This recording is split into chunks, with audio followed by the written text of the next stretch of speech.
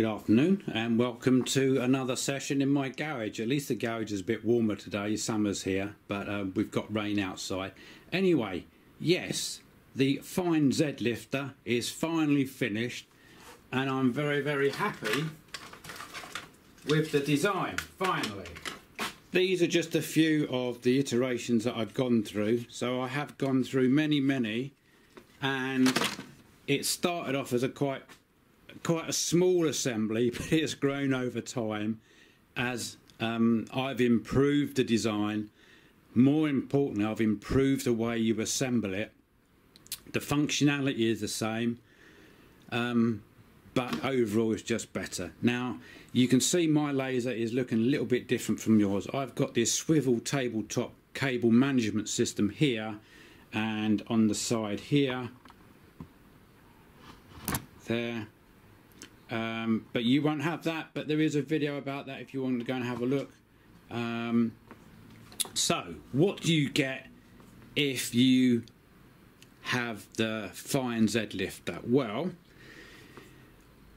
because I've put the smooth slider on and that's just a, a wooden frame at the back which omitted the two stupid screws at the back. I've been using this for many months and it just was well, it's so much easier to remove the laser head for maintenance and it's just smoother because those two small screws tend to sort of block the laser going up and down.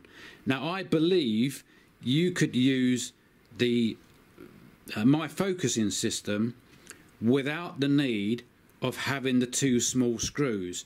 You may not need the wooden platform at the back that I've got here that I call the smooth slider because you've now got three points of contact. You had four before, you got two at the bottom here, you've got the two small screws, and that was it.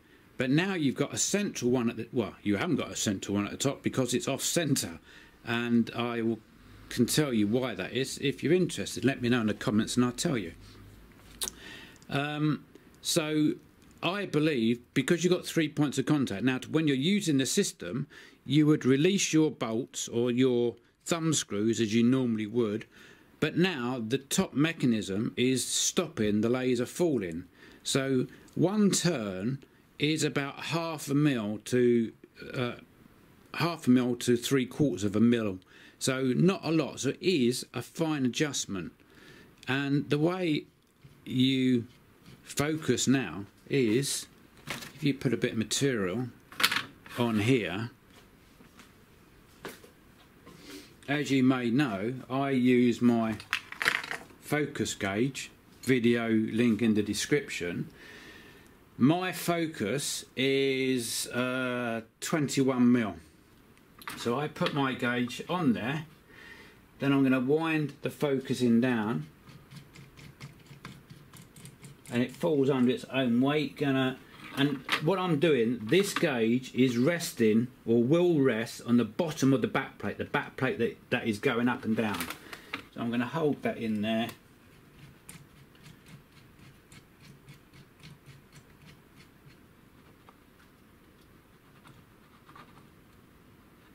Twenty-one mil. So now the let's just go up a touch. Twenty-one mil. So I'm going to lock those, those down you would use your thumb screws. And that is a loose 21 mil. The step gauge won't go up to uh, 21.25 so that's where my knob is there. So I'm going to turn it half oh, got to undo these. Half. One. Now that's 21.75 so you can see you get a very fine focus adjustment. So if you need to come in or out of focus, it's so much easier. Anyway, that's the um, that's what it is.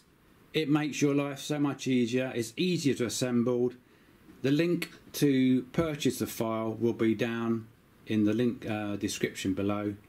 Um, any money raised from this is just used to purchase more material or more test equipment um, I am doing air testing at the moment. I've recently got a flow meter and I'm, you may notice I've got a 3D printed nozzle and I'm designing different nozzles to try and overcome different issues with our lasers. Anyway, that will be another video. Anyway, that's Andy as ever, wishing you a very good afternoon. Continue to make some happy smoke, and I'll see you in the next video.